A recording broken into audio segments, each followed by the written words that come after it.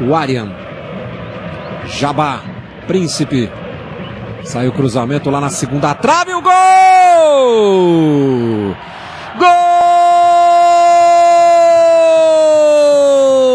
do Corinthians! Léo Príncipe! Vamos chegando a dois minutos. Ele foi cruzar, cá entre nós, né? E o goleirão engoliu feio, feio, um frangaço. Ele fez um golpe de vista, achou que a bola ia para fora e quando ele olhou para trás, ela estava dentro do gol. Léo Príncipe, dois minutos do segundo tempo, amplia o Corinthians, 5 a